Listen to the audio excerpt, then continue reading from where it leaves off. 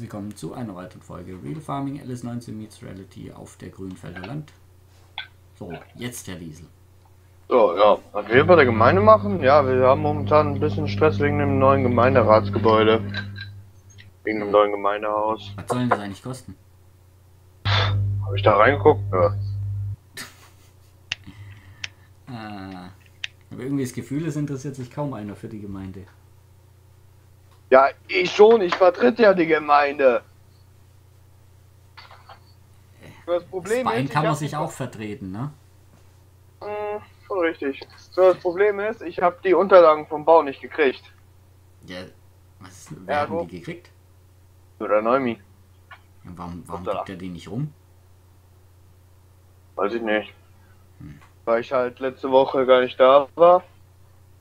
Ja, aber das steht ja nicht erst seit einer Woche fest. Also vor zwei Wochen bin ich ja schon beim alten Gebäude vorbeigefahren und gesagt, das muss abgerissen Da war werden. das noch im Abriss, da war das noch in Planung, wo das jetzt hinkommt. Und jetzt steht das halt fest.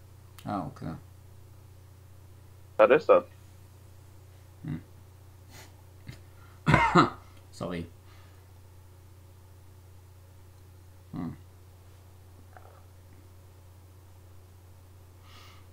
Ja, ich frage mich nur gerade, was beim Stefan im Kopf abgegangen ist. Warum? Ja, ich habe das vom Neumann erfahren müssen, dass er sein Feld oben verkauft hat für seine Weberei. Äh, ja, das hat er aber gesagt gehabt. Dass er Mir das nicht. machen will. Hat er letzte Woche gemeint, aber was er genau jetzt. Ich glaube, er wollte sich hier unten dann auch noch eins holen. Mhm. Wobei ich auch nicht weiß, was er dann mit dem mit dem Stoff machen will. Ich glaube, den wollte er verkaufen. Ja, aber den Stoff kann ich auch sehr gut gebrauchen, wenn ich jetzt wirklich die Weberei kriege. Hä? Weberei Weil- ist ja verkauft. Äh, sorry, den Schreiner. Ja. Weil äh, Vater Stadt sagt, ja, Herr Diesel und Herr Neumann, Sie kriegen wahrscheinlich was von uns finanziert. Hä? Ja, Wieso das? kleine Provision. Für was? Unsere gute Dienste. Okay. Oh. Da habe ich dann halt, äh, hat mich der Neumi äh, gefragt, ja, was willst du denn haben? Ich am Rumstöbern. Überlegen, halt, stopp. Willst du äh, den Schreiner haben? Habe ich Mhm. dann gesagt, den Schreiner. Okay. Aber wenn die Blaubeeren schon zu Weihnachten, ne, eine dicke Produktion kriegen. Meine ist, äh, der Schreiner ist nicht so teuer. Da habe ich schon äh, beim Neumann mich erkundigt. Ja, was heißt eine dicke Produktion, die Blaubeer? Die haben noch die Metallproduktion gekriegt. Wie geschenkt? Ja, zu, zu Weihnachten immer noch. Weihnachtsgeschenk. Was habe ich denn gekriegt? Du hast doch den Tatra gekriegt. Ah, stimmt. Ich habe 100 Schweine gekriegt. Ah, Und der Stefan hatte ein Kercher plus ein paar Schafe gekriegt. hat halt nicht so viel auf seinen Wunschzettel geschrieben, ne? Ja. Okay. Okay. Und was kriegt der Neumann dann? Was will der sich äh, subventionieren lassen? Das habe ich nicht gefragt. Er sagte irgendwas von wegen Maschine oder irgendeine Produktion noch oder was weiß ich. Okay. Das heißt, es wird dann von Steuergeldern finanziert. Das will ich jetzt nicht direkt sagen. Na, von wo denn sonst? Vom Vater Staat. Also vom Steuerzahler. Weil der Vaterstaat verdient ja nur Geld durch die Steuern. Ja, schon richtig.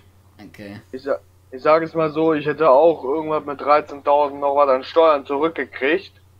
Aber habe ich lieber gesagt, weißt du was, Neumann? Halt es ein für deine, für meinen Kredit. Hm. Weil ich stehe jetzt auch wenn- schon Wenn du wieder das bei gleich der- wieder dafür einsetzt, passt ja schon. Ja, weil ich sage es mal so, ich stehe jetzt auch bei knapp einer halben Mille, was ich Mhm. noch zurückzahlen muss. Okay. Also geht eigentlich so gesehen gut voran mit dem Kredit zurückzahlen. Ja. Aber warte mal, mich muss man gerade telefonieren. ja, ich muss auch weiter, ne? Ja, alles klar. Bis dann mal. Ciao. Ja, ciao, ciao. Alter, ich glaube, ich werd nicht mehr. Ich werde nicht mehr. Die lassen sich einfach von Steuergeldern irgendwas kaufen. Das ist, das ist, das ist Bestechung oder, oder für meine guten Dienste. Was hat denn die Gemeinde geleistet hier? Zwei Gemeindegebäude hingestellt für jeweils, keine Ahnung, 2, 3, 4, 5 Millionen. Klingelingeling. Ja, Blaubeer. Hi. Oh, Volker. Also langsam platzt mir der Kragen, ne? Warum? Hab ich gerade mit dem Diesel geschwätzt. Meint der, äh, oh ja, die, der, der Vaterstaat will ihn für seine guten Arbeiten bei der Gemeinde entlohnen. Für welche gute Arbeiten? das habe ich mich auch gefragt. Und der Neumann auch. Die sollen anscheinend beide irgendwie eine Fabrik oder so subventioniert bekommen. Ja, läuft. Ja, aber hallo? Für was denn? Für zwei neue Gemeindehäuser, die sie da bauen? Ja, was ist denn mit uns armen Bauern? Ja, eben, da, da, da platzt mir bald der Kragen, ey. Ja, ich glaube, da müssen wir mal ein Gespräch führen mit dem Gemeinderat. Ich würde fast sagen, also muss fast eine Amtsenthebung her. Mindestens mal eine Versammlung. Ja. Wann hast du denn Zeit? Nicht, dass, weil wenn wir uns Zeit lassen, dann sind die Geschäfte schon alle unterschrieben. Ähm, bin gerade unterwegs, muss gleich noch die Schafsmilch abholen und das Gras einsammeln. Oh, dann wird's heute Abend nichts mehr, ne? Schwer. Bist du denn irgendwo in der Nähe von deinem Hof? Genau bei meinem Hof bin ich jetzt gleich. Äh, ich fahre gleich hoch zum Müller, hol die Schafsmilch, dann zur Molkerei. Ich kann dich dann ja mal anrufen, dann können wir mal gucken, wo du gerade bist. Ähm, ich könnte dir auch. Wo soll denn das Gras hin? Das Gras geht bei mir ins Silo. Ja, dann fahre ich doch gerade mal rüber und sammle schon ein bisschen ein. Wenn du magst, gerne. Ich habe einen Ladewagen hier, du hast auch einen, oder? Ich habe auch einen, den bringe ich gerade zum Neumann. Äh, nee, ich habe doch keinen Ladewagen. Da- Den, Ja, hat, kein Problem. den hat der Krüger wieder abgeholt. So viel Gras liegt ja nicht auf dem Feld. Aber dann machen wir das so. Ich rufe dich gleich an, wenn ich vom Müller zurück bin. Ja. Und dann komme ich bei dir vorbei, weil dann bin ich ja eh fast bei dir, wenn ich an der Molkerei bin. Nee, ich fahr zu dir jetzt wieder und lad schon mal das Gras ein. Treffen wir uns bei dir. Du musst ja sowieso zu dir. Ja, Und dann sind wir auch schnell mal zum Neumann rübergefahren. alles klar. Gut, bis dann. Jo, ciao. Ciao. Klingelingeling. Ja, Herr Verona, guten Tag. Jo. Äh, ich habe gerade noch ein paar Nachrichten gekriegt, äh, die mich etwas beunruhigen bezüglich Gemeinderat. Ja, bitte. Erzählen Sie. Die wollen anscheinend oder sollen anscheinend, also beide Gemeinderatsvorsitzenden, sollen anscheinend äh, eine Fabrik oder sowas subventioniert bekommen. Für ihre gute Arbeit für die Gemeinde. Okay. Und eine andere Frage, wer ist denn überhaupt Bürgermeister? Ja, das gibt's hier nicht. Nicht mehr. Nicht mehr. Nee, das war ganz früher, also noch damals, äh, vor Ewigkeiten war das. Also ich würde sagen, wir bräuchten mal wieder einen Bürgermeister auch. Ja, entweder wird der Gemeinderat abgesetzt, es war bisher so geregelt, dass es eine ungerade Anzahl ist, dass es auch äh, demokratisch sein könnte.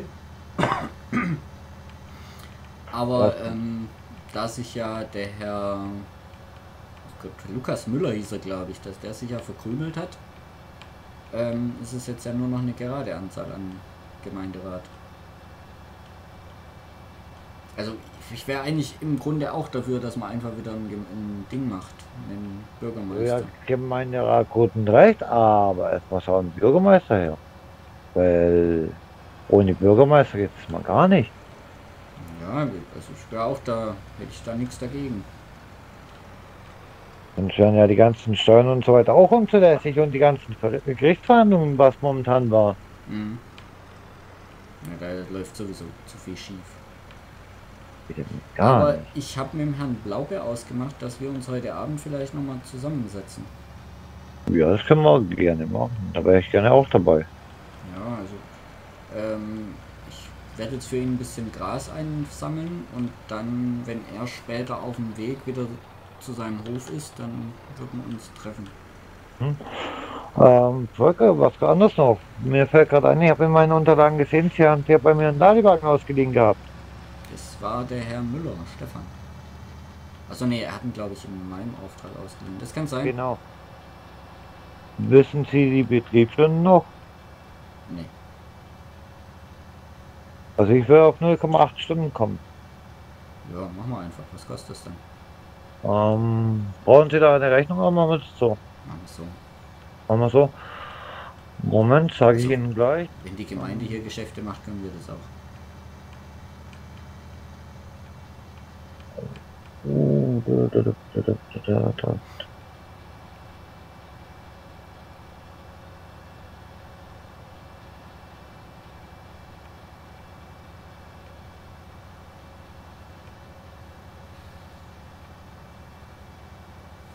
1260 würde ich da bekommen.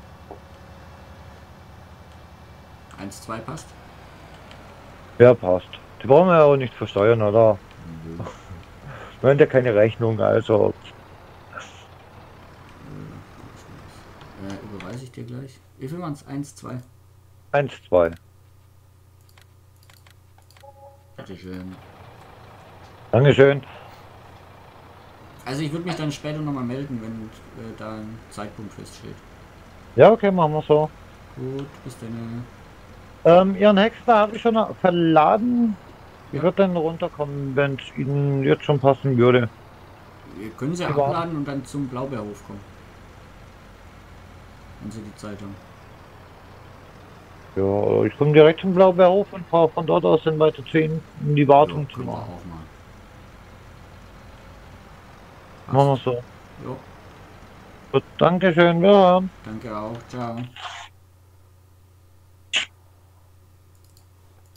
Ja, wo steht denn jetzt hier der Ladewagen?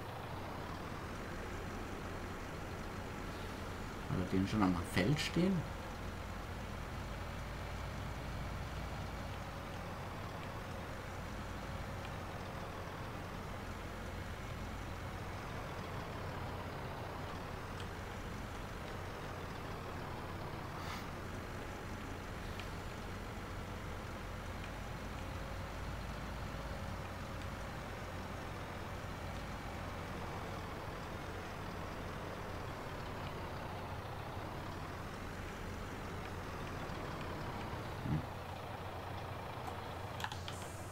Wo ist denn der Ladewagen?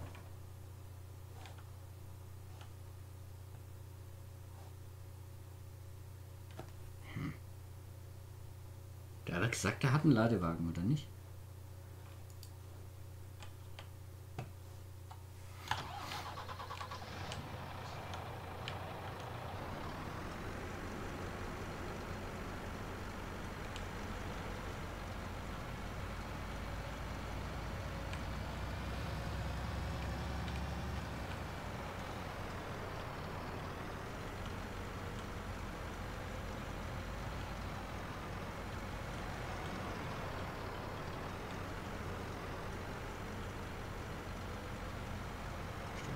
Schneidwerk.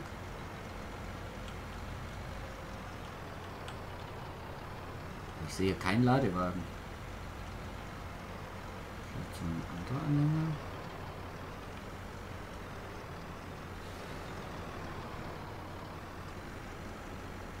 Ich blind.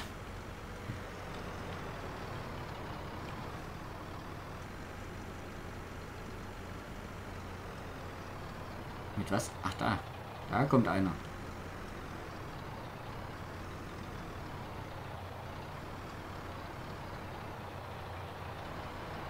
Hey, war der jetzt so schnell?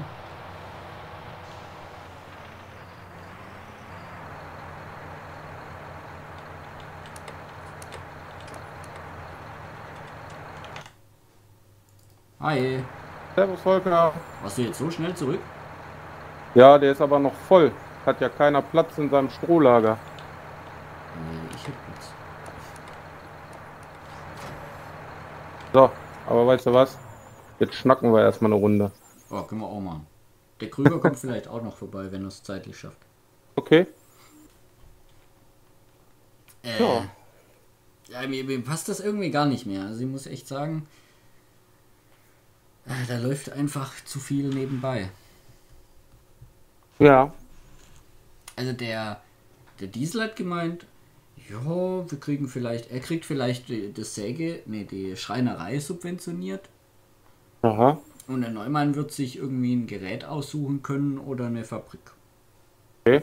Ich meine, okay, damals, als wir die ganzen Fabriken gekauft haben, bin ich ja ganz ehrlich, haben wir natürlich auch eine Subventionierung bekommen. Aber wir haben natürlich auch dementsprechend Fabriken gekauft und äh, Felder und Ja. alles. Aber nicht zum Nulltarif. Äh, nee, das wäre schön gewesen. So habe ich das jetzt verstanden, weil der Neu eigentlich der, der Diesel hat eigentlich null Kohle übrig. Der hat noch 500.000 Kredit offen.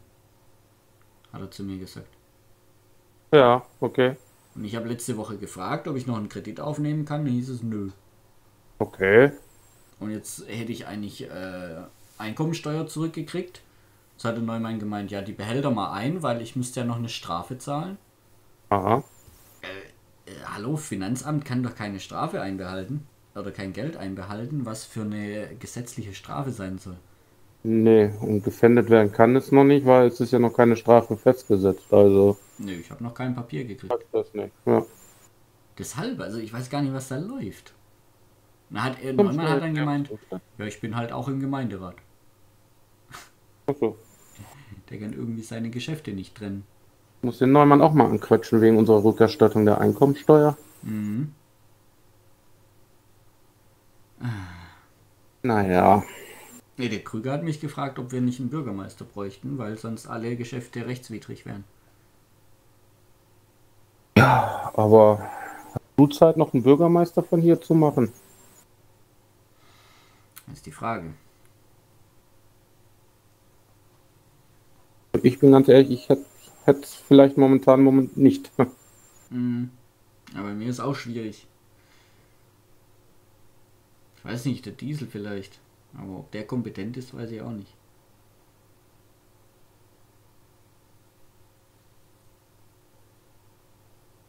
Müsste mal den Herrn Krüger fragen. Den habe ich auch schon gefragt, weil ich dachte, der hat auch viel Erfahrung. Ist, er- ist ja schon ein bisschen älter. Ja, genau, der hat ein bisschen mehr Lebenserfahrung und so, ne? Mhm. Ich meine, wenn der nachher noch auftaucht, kann man noch mal fragen. Ja, das wäre cool, wenn er auftaucht. Ja. Ich meine, er wollte einen Häcksler, er wollte mir einen Häcksler runterstellen für morgen früh. Ja. ähm, und hat gemeint, er kommt hier vorbei und fährt danach, nach dem Schnacken, fährt er runter zum und stellt mir auf den Hof. Okay. Weil er dann Ach auch noch einen Hofservice macht gleich. Das ist das Service von dem, wa? Mann, Mann, Mann. Ja, ja.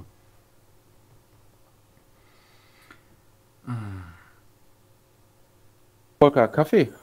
Ja, gern. Ja, ich gehe mal einen holen. Ja, ich komme mit. Liebe Leute, vielen Dank fürs Zuschauen. Wenn es euch gefallen hat, lasst gerne. Da ist er doch schon. Oh, guck mal. Perfekt. Lasst gerne Oh, ein Like, perfekt. Abo oder einen Kommentar da. Schaut morgen wieder rein. Bis dahin, macht's gut. Tschüss.